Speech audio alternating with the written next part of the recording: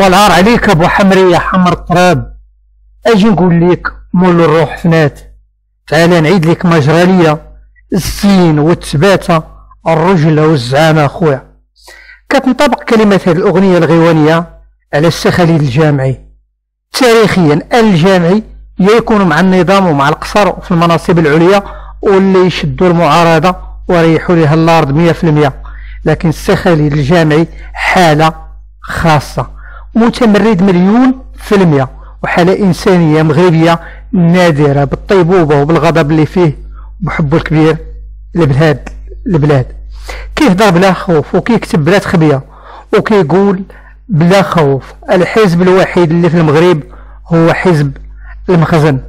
في كل مرة كيكتب كيجلب راسو صداع الراس اختار الكتابة ومزاولة مهنة الصحافة وما بغاش يكتب ما بغاش يبقى. مكاتب مكيفة ديال خمسة ديال النجوم بالعاصمة الرباط ويبيع حنكول السلطة. راقب السلطة وهو شاد فراش ديال المرض. وظل يستقبل الصحفيين في شقته المتواضعة بالرباط بابتسامة ساطعة تخفي تعب السنين وضمور القلب ومقاومة المرض اللعين ببسالة. هو الصحفي خالي الجامعي اللي توفي عن عمر 73 سنة يوم الثلاثاء 1 يونيو 2021 شكون هو؟ كيفاش دايرة المواقف ديالو؟ خالد بدا المسار المهني ديالو كموظف في وزارة الثقافة شوية هو يقرر يخلي المكاتب المكيفة وينزل الصحافة وبقى متشبت بها حتى آخر نهار في حياته حيت عيطوا له أعطوه الصفحة الثقافية في جريدة لوبينيون التابعة لحزب الاستقلال وكان في اللجنة التنفيذية لنفس الحزب. ودائما كاين صداع والروينة فين ما حط رجله وتعرض لأول مرة للاعتقال خلال 1973 بعد منشر صورة الأمير مولاي رشيد قرب طفل متسول بأحد شوارع الرباط دوز فيها واحد البركة ديال الحبس ست شهور وكانت بسبب قربه من اليسار كيف ما قال في المذكرة ديالو متهم حتى تثبت إدانته. بعد تجربة السجن وخرج واللي دوزها بمرارة تمنع خالد من مزاولة الصحافة وعانى معاناة شديدة وبزاف. فضل الفطرة وتسدوا عليه البيبان في وجهه ورجع بعد مدة إلى جريدة لوبينيون أواخر السبعينات حيث تكلف بالصفحة الدولية وكان متخصص في قضايا الشرق الأوسط زعما يبعد واحد شوية على الصداع. وكان خالد الجامعي الجامعي مقرب من جبهة التحرير الفلسطينية. كان الرحيل صديق مقرب من خليل الوزير أبو جهاد وهاني الحسن الذي يعتبر من الراعي الأول لمؤسسين لحركة الفتح الفلسطينية. ومن خليل الوزير تعين سفير لفلسطين في إيران انتقل خليل الجامعي إلى طهران لتغطية أحداث الثورة الإيرانية وكان أول صحفي مغربي يغطي هذا الحدث البارز عام 1900 و79 خالد الجامعي كان قريب بزاف من قيادة جبهة التحرير الفلسطينية وطلبت هذه الأخيرة من حزب الاستقلال المغربي باش تصدر صفحة خاصة على أشغال الجبهة. وكيتكلف خالد الجامعي شخصيا بها. كان خالد الجامعي أول صحافي عربي يحاور جنرال إسرائيلي خلال الاجتياح الإسرائيلي لجنوب لبنان عام 1982 كان عنده اتصالات قوية مع القيادات الفلسطينية رتبت اللقاء مع الجنرال ماجور في صفوف الجيش الإسرائيلي ميتي بيلد وتم اللقاء بباريس سنة 1982 وحسب وحسب ولده بوكر الجامعي اللقاء تم بطلب من ياسر عرفات شخصيا.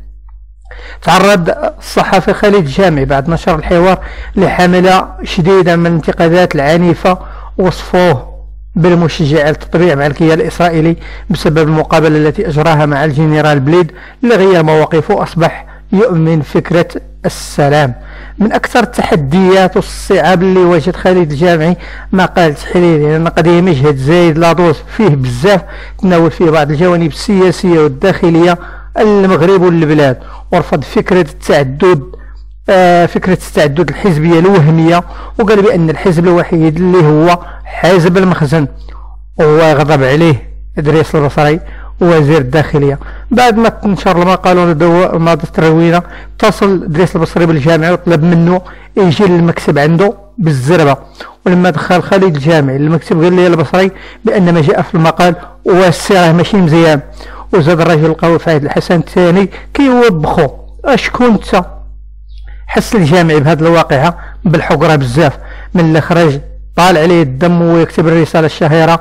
اشكون انت اللي طار ضجة كبيرة وتعاطف كبير مع الصحفي خالد الجامعي. بعد انسحاب إدريس البصري من الحياة السياسية وهرب لباريس التقى بوكر الجامعي ولده وزير الداخلية الأسبق آه، في باريس. وناقش معاه مضمون المحادثة اللي جمعته بالوالد ديالو.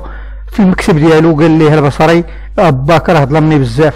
خالد الجامعي رغم المواقف والمعارضة ديالو اشتغل مده قصيره مع علي الهمة ملي كان في وزارة الداخلية وناض عليه النحل من هنا ومن لهيه وقالوا ليه اش هاد الشيء اللي كدير؟ ثم اشتغل يعني من الأقلام الجميلة في جريدة لو جورنال والصحيفه اللي أسسها ولد بكر الجامعي. خالد الجامعي من مواليد 1948 زمن النكبه العربية ظل هاز بزاف ديال الهموم بسيط في لباسه وفي هضرته متواضع ومدافع عن البسطاء والفقراء والمهمشين. خلى أربعة ديال الدراري بوكر حمودة غيتا وسارة. الصحفي خالد الجامعي كيعتبر ولا يعتبر من خير الصحفيين المغاربة. خلى بصمة واضحة في الصحافة المغربية بالمواقف ديالو والتصريحات النارية ديالو. وفي نقد السلطه وما باعش حنكو وداز من الصحافة الحزبية بالصحافة المستقلة ومن المؤسسين ديال الصحافة المستقلة واعتبر بأن الصحافة أداة من أدوات الالتزام بقضايا الشعب والوطن. السي خالد الجامعي رحمه الله كان صحفي لامع وشجاع وصادق كان عاشق لهذه البلاد وكيموت عليها وبغى لها الخير. حتى مول الأمانة بأمانته.